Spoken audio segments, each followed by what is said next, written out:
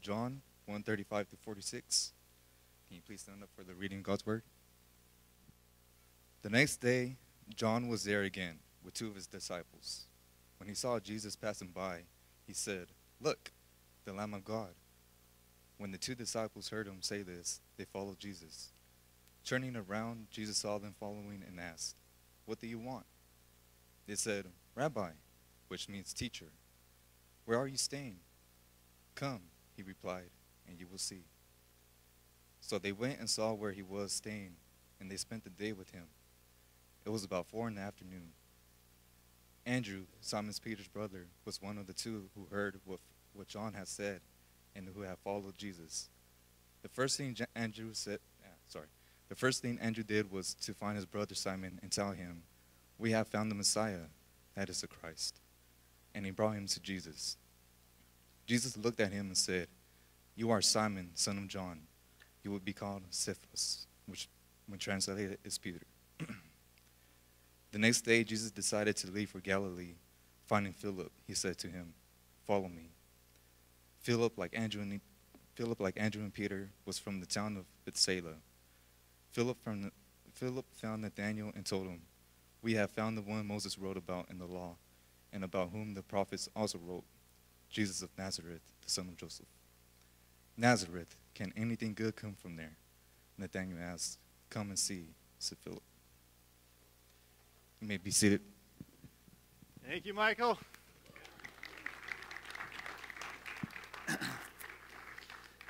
Good morning.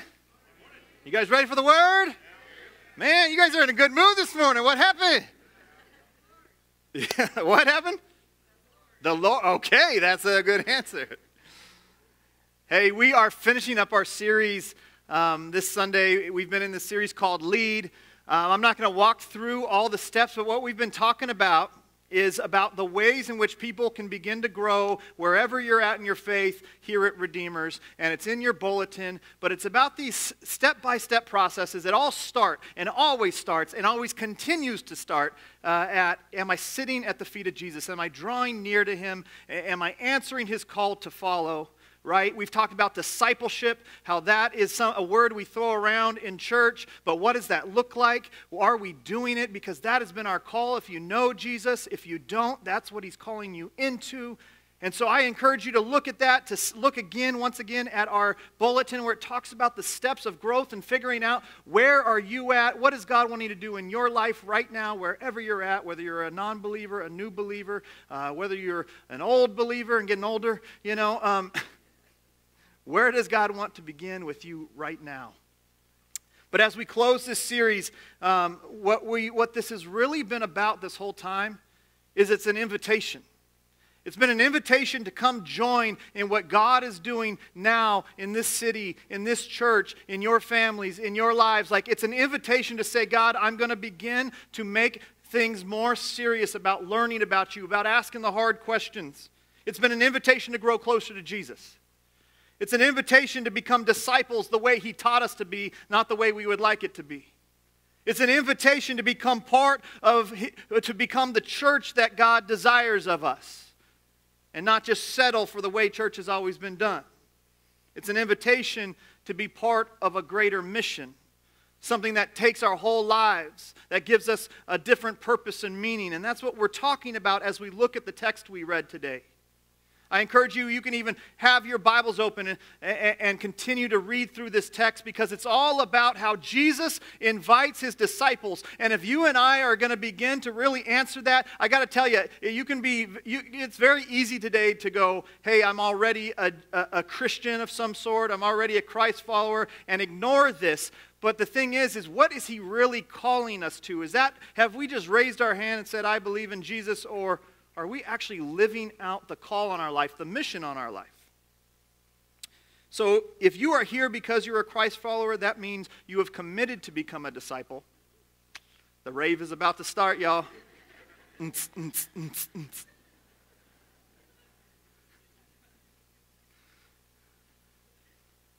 feel like I should do a poem right now. if you are here because you're a Christ follower, here we go. I told you. Mm, mm, mm, All right, I don't know. We got issues. I make it super spiritual. The devil don't want to hear the word this morning. Does that work? All right.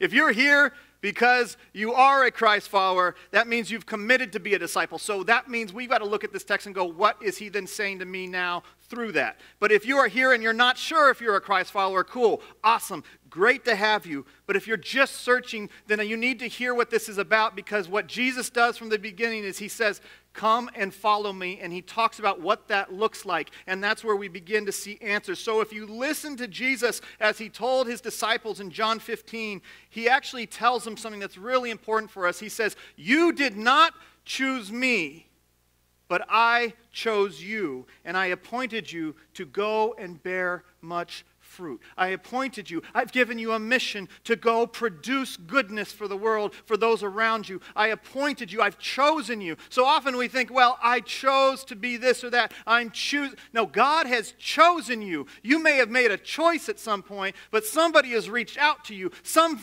epiphany of knowledge has been given to you. Some experience where God has called you and met you where you were broken has led you here. God has chose you by name, and I hope you believe that. Amen? Perhaps you came to this church because somebody invited you. Anybody? Raise your hand if you were invited here. All right? Perhaps you're a Christian because your parents were Christians. We'll work on that.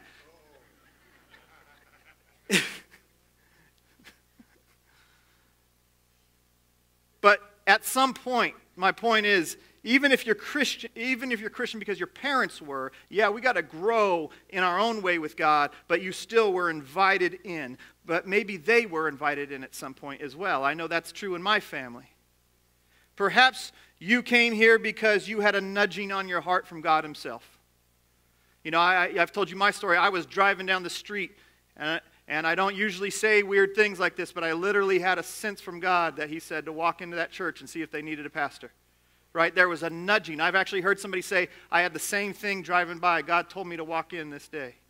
And that was exactly what they needed to hear. I don't know how you got here, how you became a believer, how you came to this uh, church today, but perhaps you came here because you had that nudging or a friend or a family, whatever it might be. What I'm telling you is God does not make mistakes, God orchestrates it. God orchestrates where you're at, even in hard times. I can tell you, I have been through incredibly difficult things recently, and God is orchestrating those. He doesn't cause them, but He sure knows how to use them if you're willing to lean into them. You were not created purposeless. And so when we look at our text today, the scripture tells us that that he knew each and every one of us. He knew us by name. He's calling his disciples by name. Other parts of scripture tells us that he, he knows that who we were in the womb. You understand that?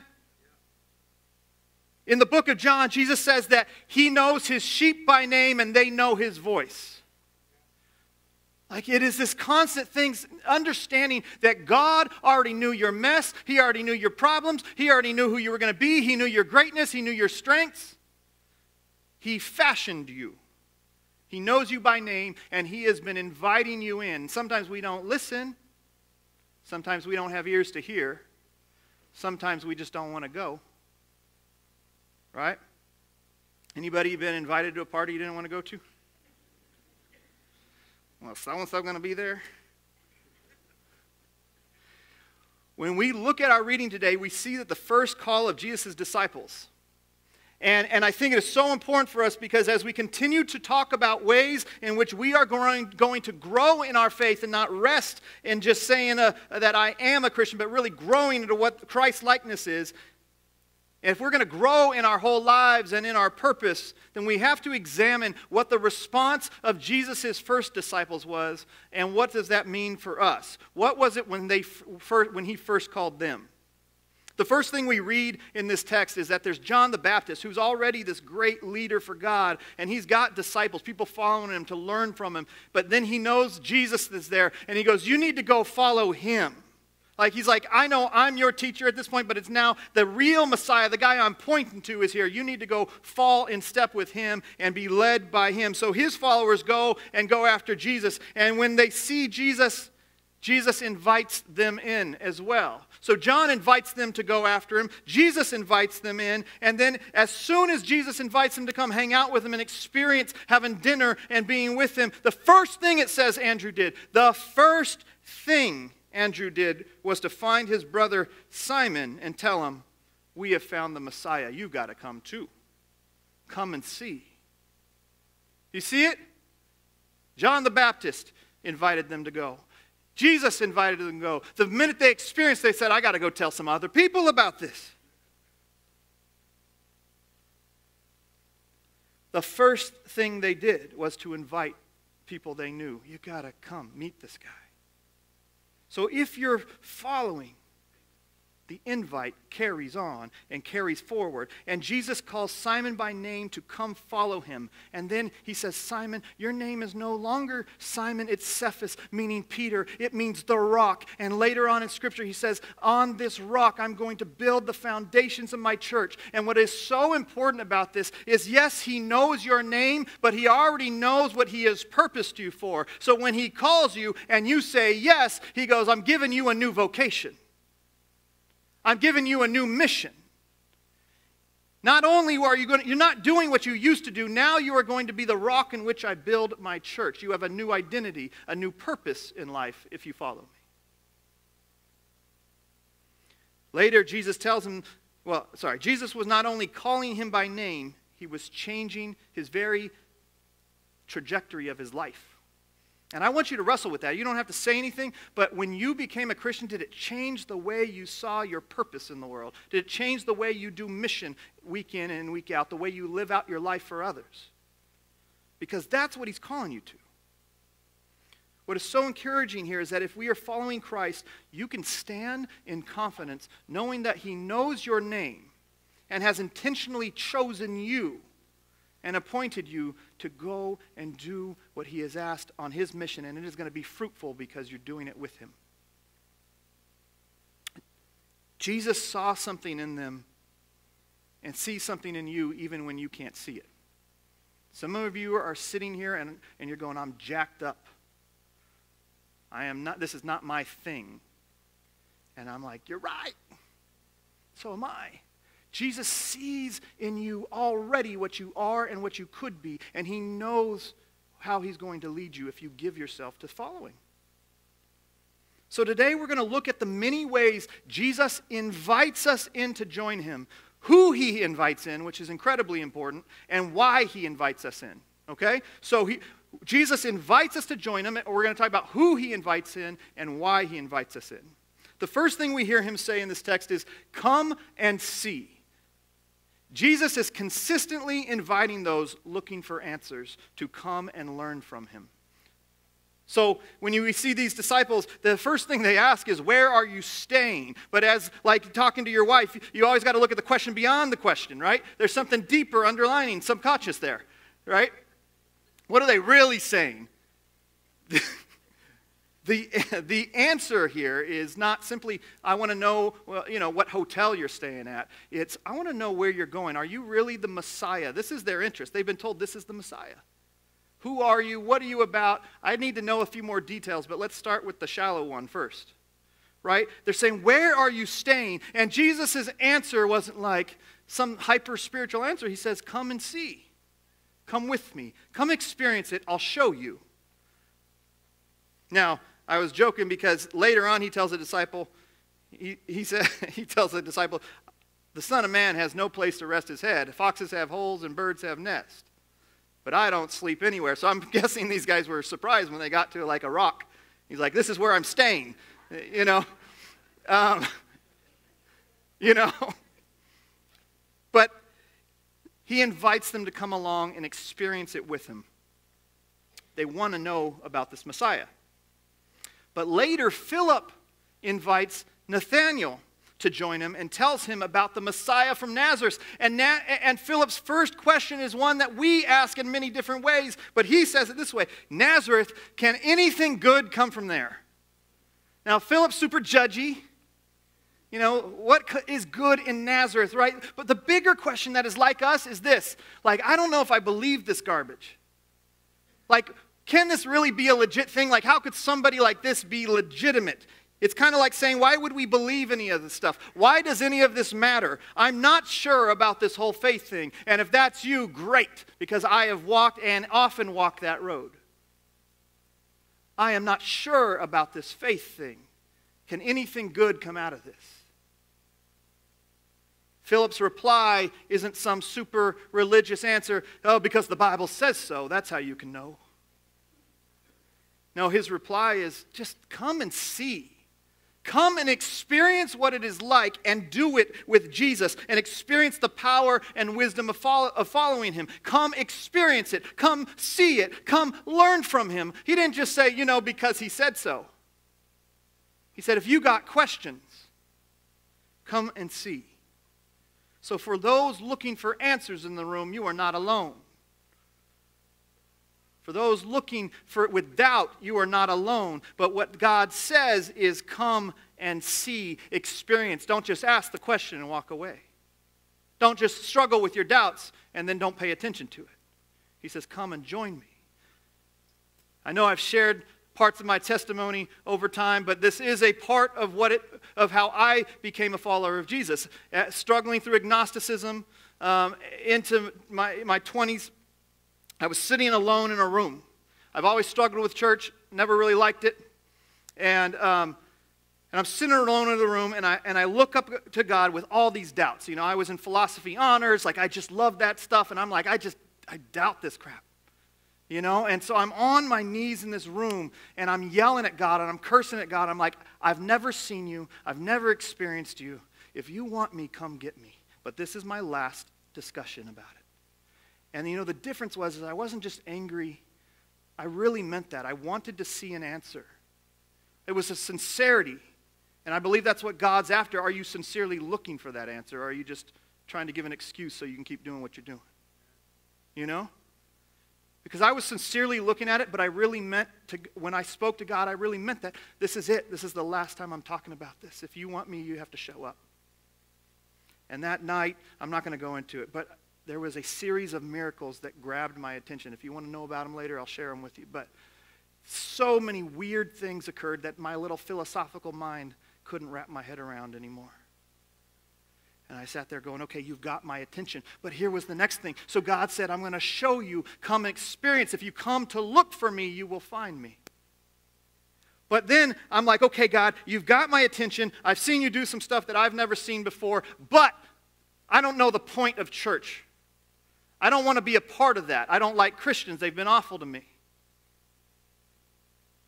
And I said, I don't get how this whole religious thing actually makes any sense, how it's good for anybody. And so I met this guy and I'm telling him all my doubts and struggles and where I'm at. And he goes, You know what? And I asked, he lived so differently. He lived to serve the poor and the needy. And he goes, he didn't give me answers. He said, Come and see. So he takes me to Skid Row and he shows me this ministry he's doing amongst the poor and homeless and with kids who, who don't have parents uh, to guide them and support them. And, and he, his heart is pouring out for him. And I'm like, Why are you doing this? And he says, Come and see. And he shows me the scriptures and a thousand verses of God's heart for the needy and the rejected and those we think who aren't worth anything. And I said, That is something I want to be a part of. Come and see what God is about. Don't worry about what other people told you it was about. Come and see, experience it. Don't worry what, what crappy Christians told you. Come and experience what God says. See it in the Word, see it in real life, see it lived out. You know? So, for those sincerely looking for answers, God doesn't just give us answers. He invites you to come and walk with Him and see it lived out over time as we sincerely follow and learn from Him. Secondly, Jesus is also inviting you by name, saying, Come and be. He is inviting all of us who are looking for relief. And this is one of the things I skip over. I'm, I'm a doer. But this is such an important piece of what God says because so many of us, you are doers and you're religious by nature. So you, you move from like being a workaholic to becoming a Christian to now you're a workaholic Christian. You know? Like you're like, I got to do a lot of religious stuff now to get right. And you just add layers onto your already uh, anxious life. And so he says in Matthew 11, 28, Come to me, all you are who are weary and heavy burdened, and I will give you rest. I will give you relief. I will lighten your load. Right? Man, I, these are things I skip over so much. They're, they're mushy to me.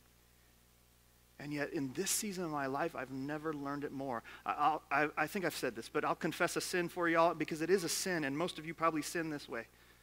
I was not practicing my Sabbath for about two and a half years, three years here. That might seem like, oh, not a big deal. It was huge. It led to a lot of anxiousness. It led to me not leaning on God in decision making. And, and, and so, in practicing it, it's amazing that God was right.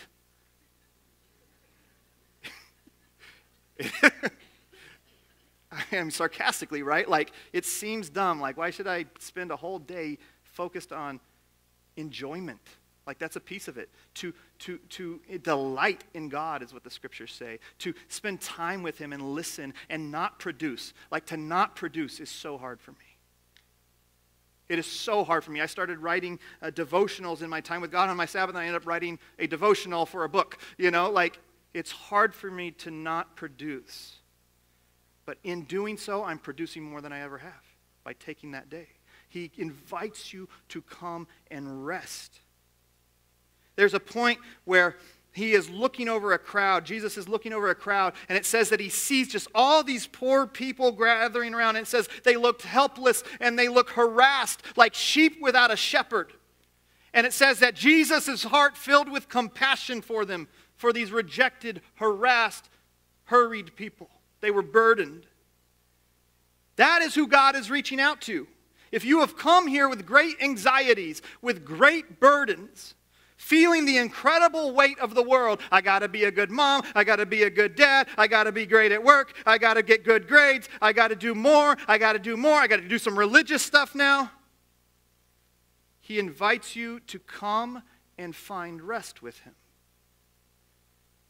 So, you and I are living in a world whose sole trajectory is to say you need to achieve more, you need to be more, you need to earn more, you need to do more, you need to produce more if you want to have lasting value.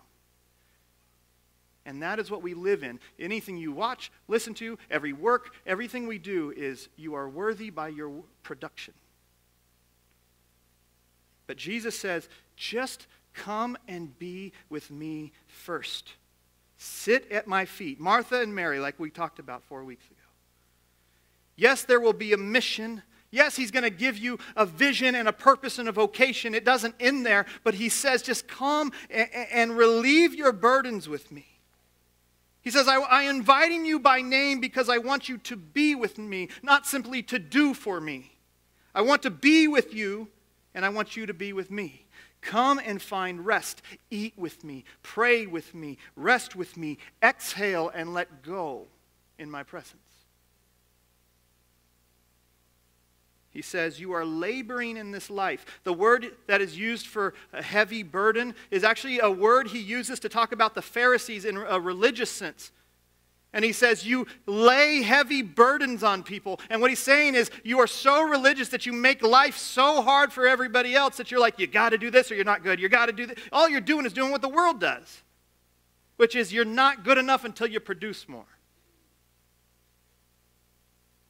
And so Jesus uses that, that word heavy burden for a religious sense too. Maybe it's expectations from the world. Maybe it's from your parents. Maybe it's in your work. Or maybe it's the religion you grew up in, which is also what the word meant to have legalism and rules laid on you, and you just carry them, and you carry them, and you carry them. And so he says, what Jesus says at this point to these Pharisees, he says, those religious hypocrites will load you up with rules to be perfect. And you'll never get there without me.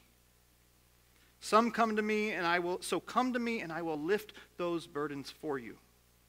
That's who Jesus invites in. Those who say, God, I need you to lift me up and take this from me. Did you come here with religious rules that were piled on you? Then Jesus says, Come and be. Did you come here feeling the pressure of life, feeling like you can never be good enough or do enough? And Jesus says, Come and find your real worth in trusting me with all that stuff. He invites you to come and rest and find relief. Another thing that is consistently seen throughout Scripture of who Jesus invites, it's about who, who Jesus invites to the table, who Jesus invites in to his life. He invites everyone, but a whole lot of people don't really want to go. Okay? He most often extends and invites those who are hungry and left out. He invites them to come and feast. Come and enjoy the blessing and, and me filling your hunger and your thirst and your desire for fulfillment and need and purpose. Come and enjoy it and get it from Jesus. Come feast on him. There's actually a point where he says, I am the bread. And what he's saying is, feast on me. Be with me. Take me in. Listen about uh, everything I teach you. Sit with my words. Pray with me. Talk with me. Feast on me. Let it sit and savor in your mouth. Don't just brush it off on a Sunday afternoon. Jesus talks about the poor and those he invites in and the needy and the hungry so often I actually didn't know where to start with this piece. There's so many verses. I'm like, that's like another 10 sermons. So I'm going to give you just a couple. In John 7, this is so intriguing. I need you to pay attention here because there's some history here. In John 7, Jesus is at a thing called the Feast of Tabernacles. It's a party, y'all. It's awesome. They're feasting. But what the whole party was for was to celebrate and commemorate a time when Israel was slaves and poor wandering immigrants in a desert, and God fed them manna from heaven and water from a rock. It was a reminder we're going to celebrate and party because we want to remember that there was a time when we had no food, we had no water, and, and we were foreigners in a foreign land wandering through a desert with nothing to save us. And God gave us bread and water from a rock. And so Jesus stands up. They're all eating together, celebrating what God did in the desert. And this dude is crazy. He says, This is what he says. He goes, He stands up and he says, Let anyone who is thirsty come and get a drink from me. You know what he's saying? He's saying, I'm that rock in the wilderness. I'm the place where you find salvation and fulfillment. Remember that you were the hungry, you were the immigrant, you were the one who was poor. And now, for those who are hungry, those who are wandering, those who are sinful and lost, come and get a drink. Come feast. Later, he says in Luke 6 that blessed are the hungry, those who are hungry now because you will be filled, you will be satisfied. I will be your feast. Blessed are the hungry for they will hunger after God's righteousness.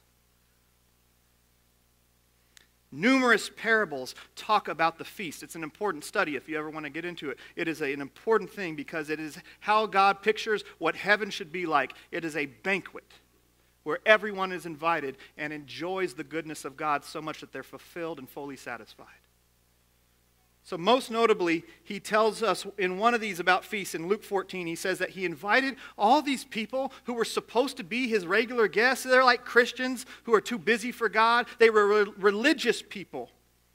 And he invites them to the table, and one says, I got to be with my wife. I got to do some labor. I got to do some work. I got some things that I can't make your, I can't come and, and feast with you. These were the ones who were supposed to come, the good ones. So in Luke 14, verse 17, Jesus tells this parable. He says, So the master sent his servant out, and he says, Go out quickly into the streets and alleys of the town, and I want you to bring in the poor, and I want you to bring, bring in the crippled, and the blind, and the lame. Go out and bring in those who would regularly not be invited, and fill up this table. See, the well to do religious folk don't show up because they don't need them. They're not hungry. But oh, the hungry. The hungry are coming. Oh, those who are left out and discarded in society, they're the ones who come with the invitation. Oh, the wandering immigrant in the desert, they're the ones enjoying his shelter at his feast. Oh, the woman who is treated like trash because of her sexual history, she's the one following at his feet. Oh, the person who was told their whole lives that they would never amount to anything. They're the one ready for his new purpose and mission on their life. So Jesus says, That is who I invite. Those who are hungry and thirsty for the feast of my grace, my salvation, the love that I'm offering. That's who God wants to invite into this church. The scriptures say, don't just bring them in, bring them to the front. That's why my parents sit here. You take the most messed up people and put them right here. You're important. You're important. You're important.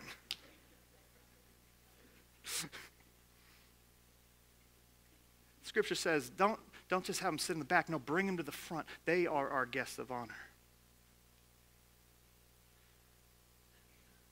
Not the well to do, not the religious nationalists who care more about their economics than the poor. You can sit in the back. No, those who are hungry are the ones who are most hungry for Jesus to say, Come, enjoy me, be with me, rest with me. I give you a new vocation. They're ready to change, they're ready to drop their nets. Those in power, those people are too busy. So if you're hungry for love, if you're hungry for forgiveness, if you're hungry for community, if you're hungry for healing, your name is on the invitation to the feast. You understand that? In the same chapter, in verse 12, he commands all who follow him to not simply invite people you're comfortable with or who agree with the way you see the world, but invite those who are completely opposite of you. Invite those that you're uncomfortable with. Invite those that you would disagree with, that don't see the world the way you see it. He says you should be inviting the poor and the hungry and the left out to the table first. You should be looking for that if you're a disciple of Christ. Lastly, when Jesus invites his disciples, he invites them to come and have the trajectory of their whole life changed. He invites us to come and lead. He invites those who are looking for purpose and mission. Lead, the way we've talked about, come and learn at my feet. Come and serve and engage the mission. Come and serve the needy. Serve people who are needing to be raised up in the faith, those who are hungry. Come advance the mission and disciple people and show them what I've shown you. Come and lead a ministry to help feed widows, to, to help nurture young people into, into faith and leadership whatever it might be, he invites you and says, I've grafted you in so that you have a unique mission based on who you are. And when you cling to that and do it and you make the sacrifice, because it is, guys, you're going to have to give up something to give God everything. See, there is a sacrifice, but it's not much of one because once you do it, you find out, man, this is what I was missing all along. This is what gives meaning to the spinning rock. Some of the first disciples he ever called were fishing on a boat, and he called out to them and he said, Come and follow me, and I will make you fishers of men. I'm giving you a job. You're good fishermen, but right now you smell like fish. I'm going to send you out and change how you do things. You're going to fish for people. You're going to go and bring others in to the kingdom of God and have them experience the power and grace and love of Christ. In our text today, he says to Simon, You are now Peter, as we talked about. You're the rock in which I will build my church on. Do you see it? He gives you a new trajectory, a new vocation, a new mission in life. The very meaning of our lives is changed when you accept an invitation to Jesus. He says, I have called you by name. You know my voice. Now follow me on this mission to the world that I have because where he's going, it's going to be a mess and it's going to be amazing. He's going in, into the religious and calling them out. He's going amongst those who are left out the Samaritan woman, the poor, the leper, those who nobody would touch in society. It's going to be a scandal.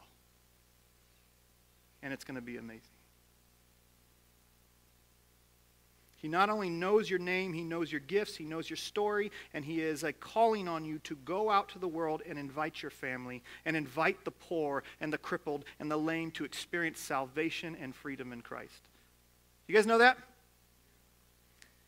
Evangelism is a dirty word today. It is for me. I hate the concept because it was always like, do you sin? Yes. You're going to hell. Like, that was evangelism. I think it's terrible. I never bought into that stuff. But call me to come and experience what God is doing in the world. Call me to experience love and graciousness when a world says, no, you're not good enough till you do more. Man, now I see. Show me. Come and see what you're doing on Skid Row. Now I see the goodness of God. It's not that I don't believe in what happens afterwards. It's just that's not what I'm going to set my trajectory of my life on. He's given me something so much more. He sends me on a mission. He wants me to come and invite people to come and feast.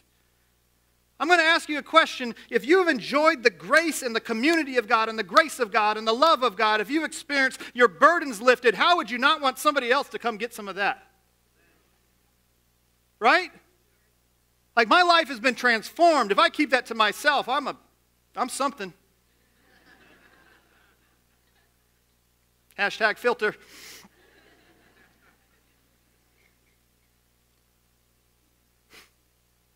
Multiple times Jesus uses, this is going to be incredibly important here, you guys.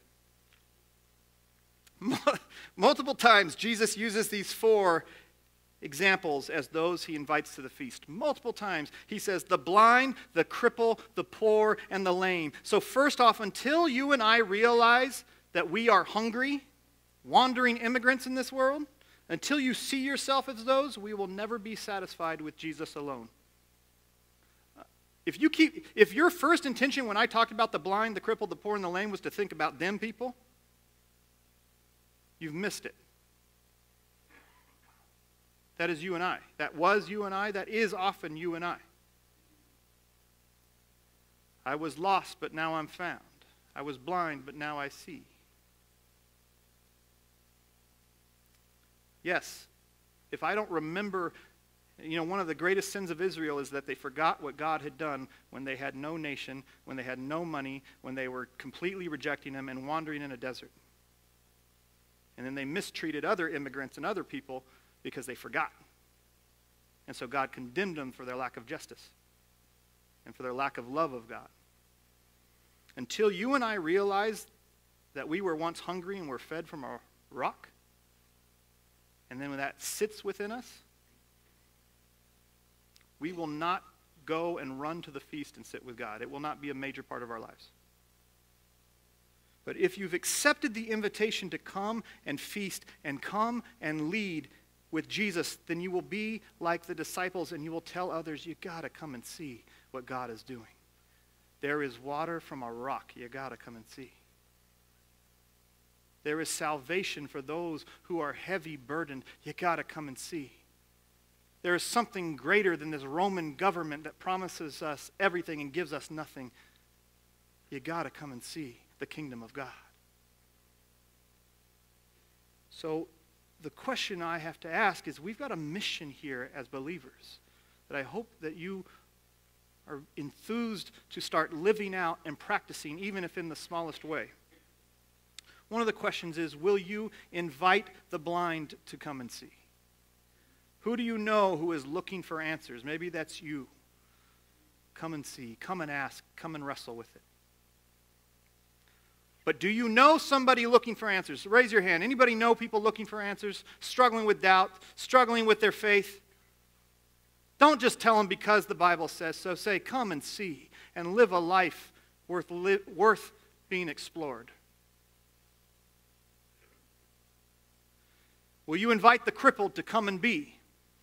those who are looking for relief? Who knows people who are incredibly anxious, physically having experiences of anxiety, depression, who are seeking relief in their life? Come on, that's a lie. That is the epidemic of our life right now.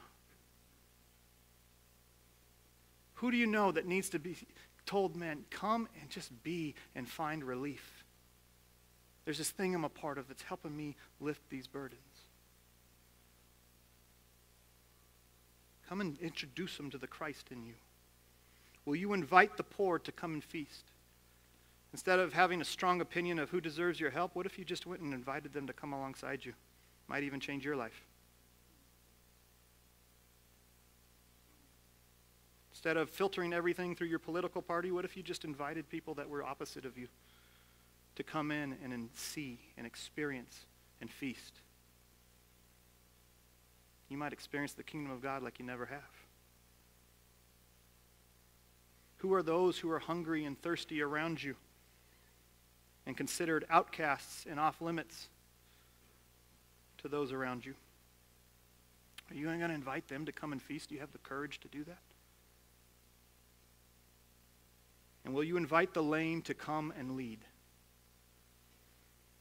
the lame to come find purpose those who feel like life is going nowhere anybody know anybody who you sit there and they just go i don't know where i'm heading i don't know what my point is i just feel like i've been working for 30 years for what anybody I'm looking for purpose. I'm looking for meaning. Are you inviting them in to come meet Jesus and experience the calling on their lives? Because that's what we believe as believers. If you're not one, this is what the belief of our Lord is, which is you were created and fashioned for that very purpose that is only found in Christ alone. You will only find what you were created for, which is what we're all looking for, when you sit and dwell with Christ at his feet.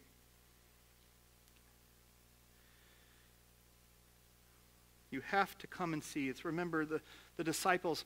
John says, Go and be with Jesus. He says, Come and see. And then they, Andrew runs away and he says, Come. He goes to his family, Come and see what we're experiencing. He didn't say talk about it, he said be about it. If God is going to provide salvation and hope and relief to us, wouldn't we want everyone to come and feast? Unless God is just a fire escape plan for you. That's it. Like I just I'm I'm escaping some fear of judgment. But if it's, man, if you know what God has done in your life, wouldn't you want everyone you know to come and feast? In fact, God says you might even want your enemies to come and feast.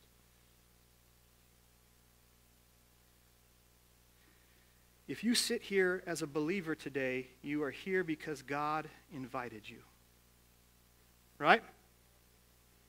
Maybe by a stirring in your heart. Maybe you were alone like me in a room. Maybe it was a friend or a family member who brought you. Maybe it was your parents, and that's okay. But God chose you by name. If Jesus invited you by name, will you go and do the same? If Jesus has called you out to relieve you, to love you, to serve you, to build you up, to strengthen you, to give you direction and purpose, will you invite others in to get that? This is not something we've done at this church before. We don't do one thing I actually am kind of proud of, but it, it, it's not like a rule or anything. But we just have never promoted or invited or been any, done anything with anything at this church for the last three and a half years to invite people in. Really, it's just been word of mouth, and that's awesome. I mean, some of y'all are talking about what God is doing in your life.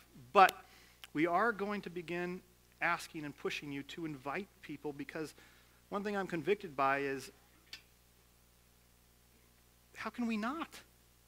If God is doing a work in us, how can I not want everybody else to experience that? That is the call in our life as fishers of people. I'm going to invite you to do two things today. If you haven't come to the feast, if you're like, I'm not really a Christian, I have my doubts. I have my struggles. I am inviting you right now to begin to come and see. I'm not offering you instant change. I'm offering you to come and see and change your life trajectory because he does the promises of God to be teased out by following him is that he will bring you relief, he will bring you salvation both here and in the hereafter, and that he will give you direction and purpose found only in him.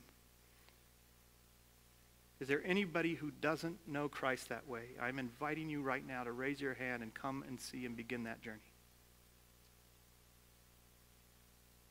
Anybody? Okay, then we got some inviting to do. Amen? Number two, if you have tasted and seen the goodness of God, do not let anyone else miss out. Okay? And I got to tell you, man, my family has flourished by being in this community with you guys. Uh, my kids are flourishing. My wife's pretty awesome, but she was that before I got here. But it's been good. My family has flourished by being in community for the first time, really, in our lives. Um, so I'm inviting you. We're starting a new series, and it's called Scandal. If you haven't seen it, uh, we've been advertising it, but we're starting a new series, and we're going to walk through for the next six weeks, all the way into Easter, the scandalous life of Jesus. To everybody around him, he was everything you're not supposed to be. And yet he was everything we need to be. Right? And what's interesting is you'll read through the, as we read through the gospel and we read about his life and what had happened on that cross, it was a scandalous endeavor to everybody else. It wasn't scandalous to God. But to everybody else, he was called a lot of names and accused of a lot of things.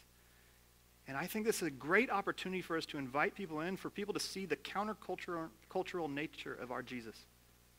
That no matter what they've seen in American Christianity, Jesus is not a safe place to be cooped up. He is, he, it's a scandalous faith that has amazing power to it.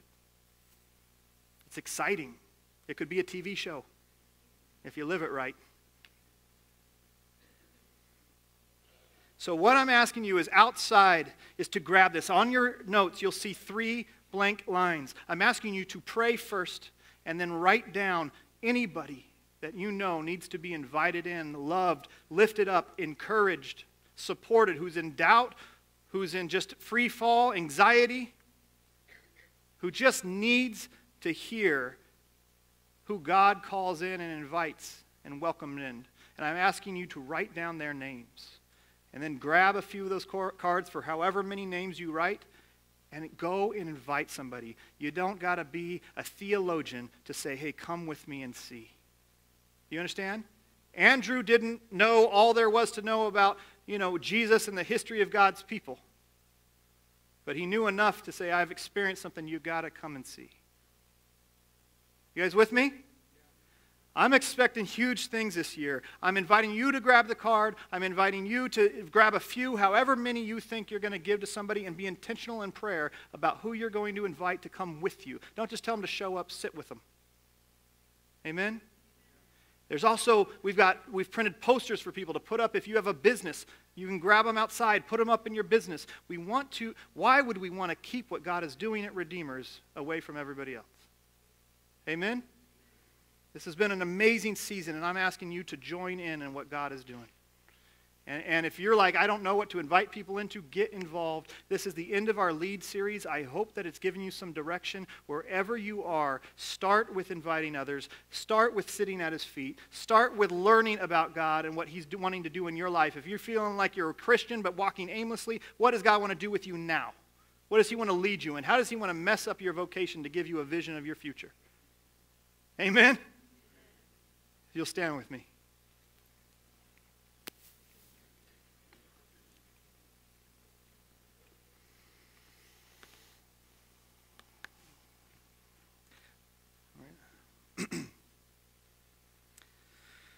Lord God, it is an incredible privilege to sit at your table, to feast. To not live in a world where more and more burdens are put on me, including in this religious world.